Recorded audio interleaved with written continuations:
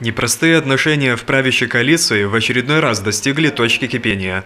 Накануне лидер аграриев Рамунас Карбаускис публично обвинил председателя социал-демократов Гинтутаса Полускаса в политических махинациях. Мол, тот собирается разрушить союз, лишь бы его партия получила больше голосов на будущих выборах. Полускас в долгу не остался. Тут же назвал Карбаускиса тираном и посоветовал не лезть не в свои дела.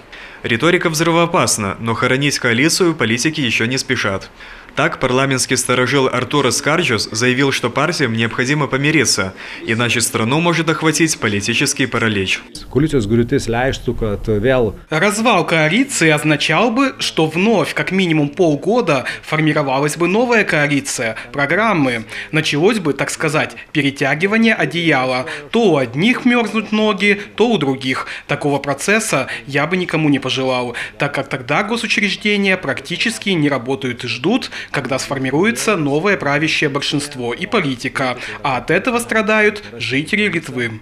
Неразбериха в эшелонах власти не помешала младшим партнерам по коалиции зарегистрировать на днях всеми целый пакет налоговых реформ.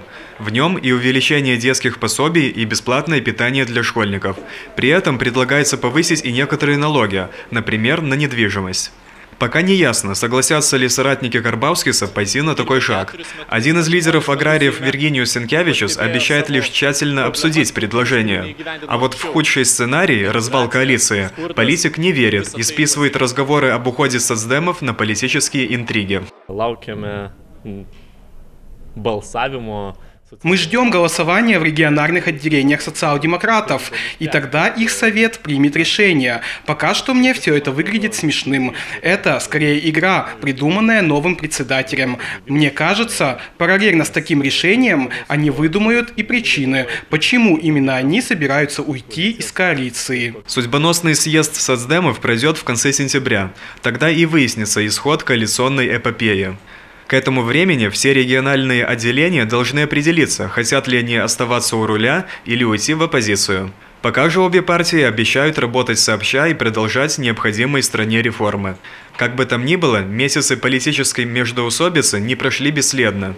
Как показали недавние опросы Сплинтер Теремой, рейтинги правящих продолжают стремительно падать. Сергей Шалкин, Мартина Свицбелис, Первый Балтийский канал.